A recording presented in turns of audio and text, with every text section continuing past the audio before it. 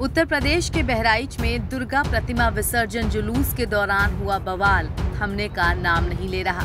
सोमवार को एक बार फिर से हिंसा भड़की। फायरिंग में जान गंवा चुके युवक रामगोपाल मिश्रा की अंतिम यात्रा में शामिल लोगों ने कई गाड़ियों और दुकानों में आग लगा दी। ग्रामीण लाठी डंडों के साथ सड़कों पर उतर आए। विरोध प्रदर्शन हिंसक होने पर पुलिस ने आँसू गैस के गोले छोड़े और लाठीचार्ज किया। वहीं डीएम मोनिका रानी से लेकर एसपी वृंदा शुक्ला तक स्थितियों से निपटने के लिए सड़कों पर उतरी। इस बीच विपक्ष सरकार को घेरने में लगा है। समाजवादी पार्टी के सोशल मीडिया हैंडल से इसी भीड़ का एक वीडियो साझा कर सीधे सीएम योगी आदित्यनाथ पर निशाना साधा गया है। इसमें लिखा गया है, योगी जी, आखिर आप यूपी में क्या करना और करवाना चाहते हैं? यूपी में कानून सोया पड़ा है। क्या ये माना जाए कि इस दंगे फसाद और सांप्रदायिकता को आपका मौन समर्थन है? आप कानून व्यवस्था संभालने में फेल हुए हैं। आपका पुलिस और प्रशासन खुद इस फसाद के कुचक्र के पीछे है। आखिर इंटेलिजेंस कहाँ थी? कहाँ था प्रशासन? आखिर किसने इस फसाद को उकसाया? हम सब लोगों ने झंडा उखाड़ने और लगाने वाला वीडियो देखा। बेहद शर्मनाक और भयावह एवं आपकी सरकार पर सवालिया निशान। इसके अलावा बहराइच हिंसा को लेकर कांग्रेस नेता प्रियंका गांधी ने भी सोशल मीडिया पर अपनी प्रतिक्रिया दी है और सभी से शांति बनाए रखने की अपील की है।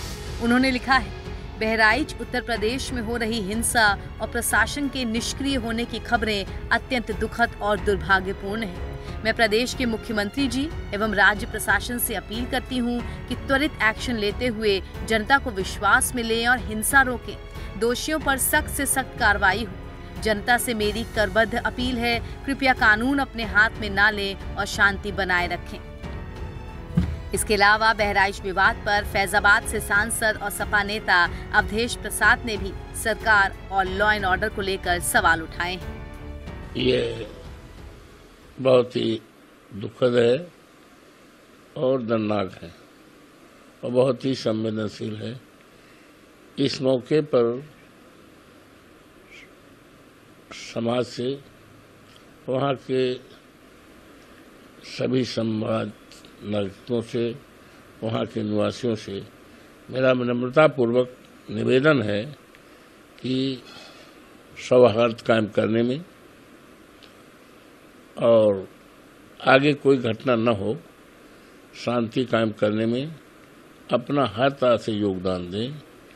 और ये दर्दनाक भी बहुत दर्दनाक है।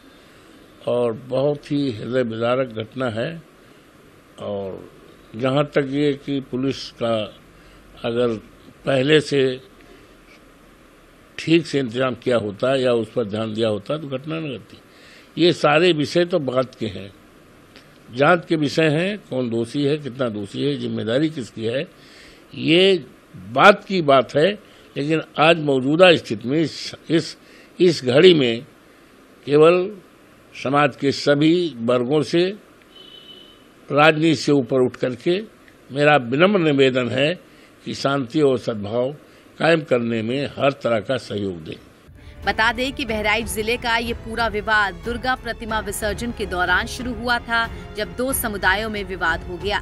इसके बाद जमकर पथराव और फायरिंग हुई, जिसमें गोली लगने से एक युवक घायल हुआ। इलाज के लिए ले जाते समय युवक ने दम तोड़ दिया।